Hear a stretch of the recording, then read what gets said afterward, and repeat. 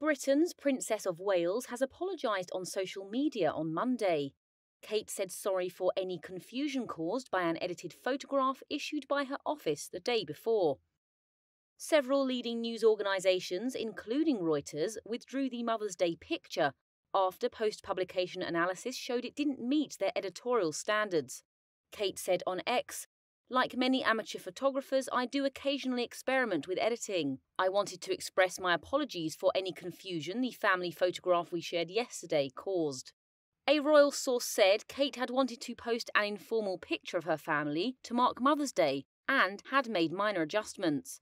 The picture showed the Princess of Wales posing with her three children in Windsor, where the family live.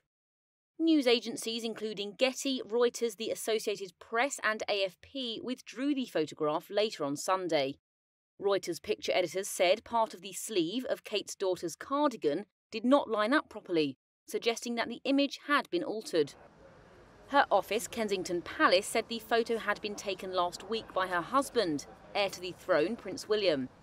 The picture had already attracted huge media attention as it was the first official photograph of Kate since she underwent abdominal surgery and spent two weeks in hospital. Although her office said she would not return to public duties until after Easter, her absence has led to intense speculation about her health on social media in recent weeks.